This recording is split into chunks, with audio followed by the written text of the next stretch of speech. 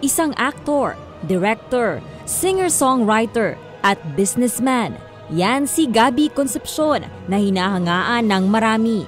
Nagsimula ang career ni Gabi Concepcion sa show business noong taong 1980. At the age of 15, napabilang na siya sa roaster talents ng Regal Entertainment. Ngayon ay pakakaabangan naman siya sa kanyang natatanging pagganap sa pelikulang Felix Manalo. Binigyan niya ng buhay ang karakter ng kapatid na Eranio G. Manalo, isa sa mga mahalagang tao sa kasaysayan ng Iglesia ni Cristo. Makakasama natin dito sa pambansang almusal si Gabi Concepcion ngayong Miyerkules, alas 6 hanggang alas 7 ng umaga, dito lamang sa Net 25.